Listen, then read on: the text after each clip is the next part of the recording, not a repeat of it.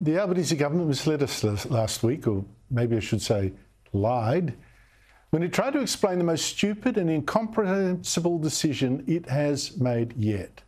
I mean, this is so boneheaded, and we need answers.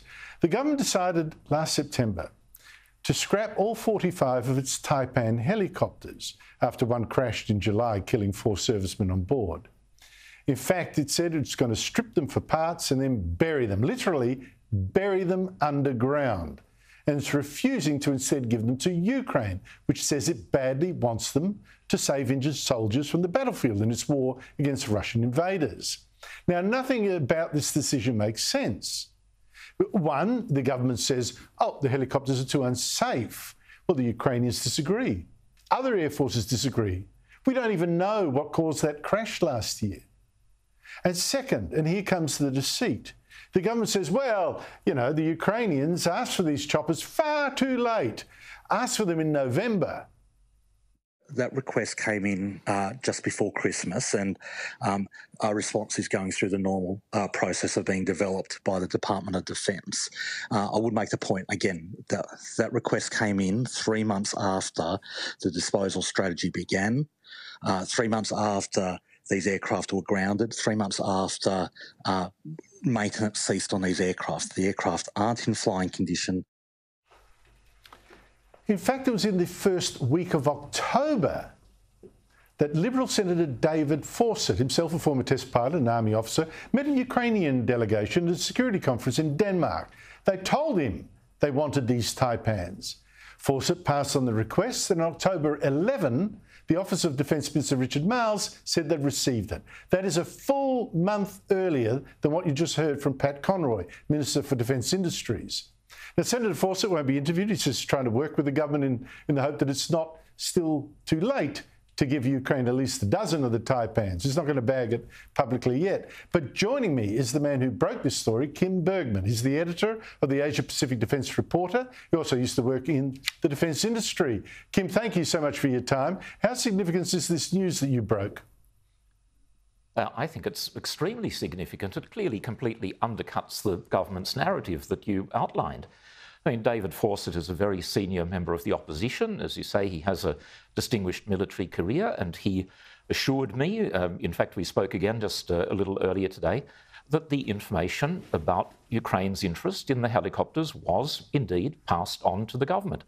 Um, and I'm sorry to correct you in terms of calendars, it, it wasn't one month before uh, the official request went in, it was two months before.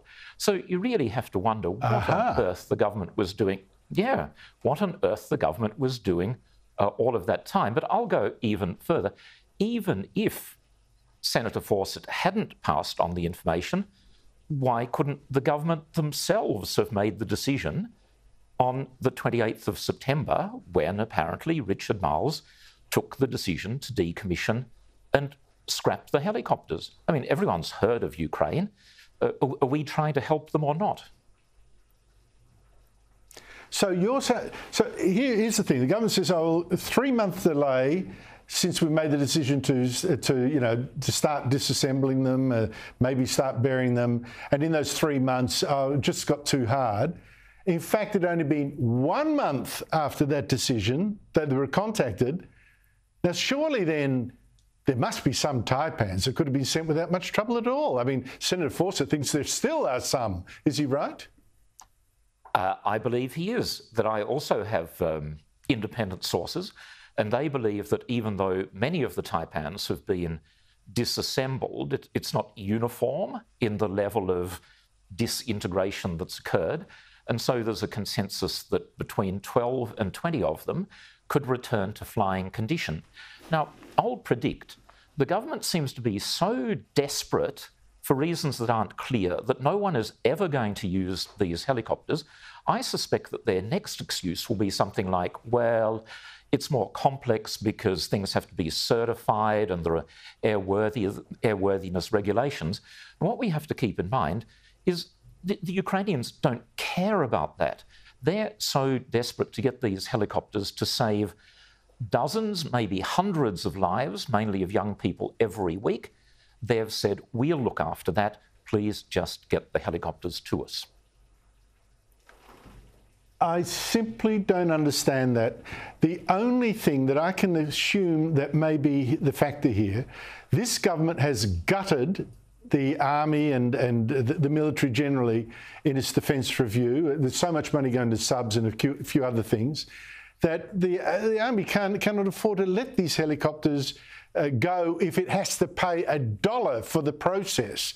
Is that what the issue is? That the army just doesn't have a dollar and the government won't make good that money? I think that that's part of it. The situation with the Taipans has always been a little bit complex because uh, even though they're quite safe helicopters, they've picked up a reputation in Australia for unreliability and also they are very expensive to maintain. There's no doubt about that.